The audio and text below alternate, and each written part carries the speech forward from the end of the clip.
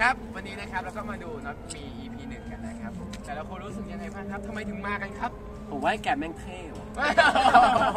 โทษนะเขาถามว่ารู้สึกยังไงรู้สึกยังไงแบบ รู้สึกอะไร EP หนึ่งดูไปแล้วเนี่ยรู้สึกยังไงกันบ้างตื่นเต้นนะจะดึงทำไมเนี่ยรอคนทักอยู่เลยเมื่อไหร่จะมีคนทัก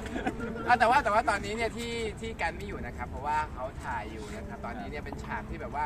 เปิดเผยไม่ได้จเอริงอๆมันเป็นความรักใช่ครับ เข้าเรื่องกันสักทีแต่วันนี้ที่ดู EP หนึ่งรู้สึกดีนะเออเพราะชอบนะ เราทำงานกันมานานแล้วก็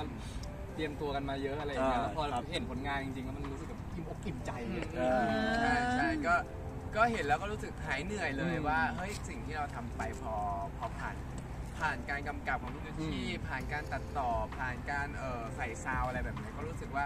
โอ้มันเป๊ะหมดเป๊ะทุกผ่านการเกลียร์สีปากด้วย เอ้ยอะไม่ต้องพูดแล้ว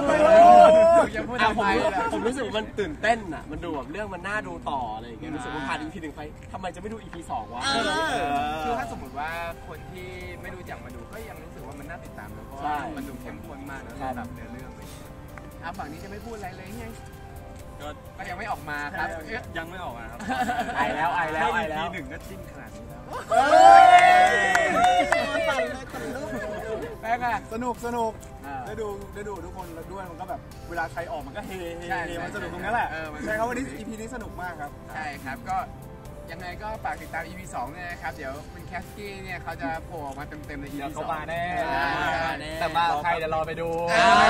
เดี๋ยวรอไปดูกัน คืออย่างวันเนี้ยเรารู้สึกเราพอใจแล้วเราก็ชื่นชอบมากแล้วเราก็หวังให้ทุกคนนะพึงพอใจไปกับเราด้วย ใช่รอติดตามไปเรื่อยๆครับ ใช่ครับ ครับผมยังไงฝากด้วยนะครับผม ด้วยครับนี่พูดยังไงซ้อนไปเลยใจตรงกันน่ะ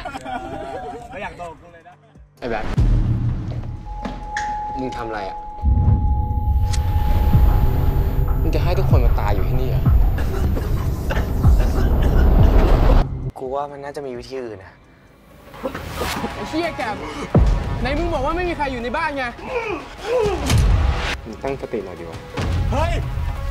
เฮ้ย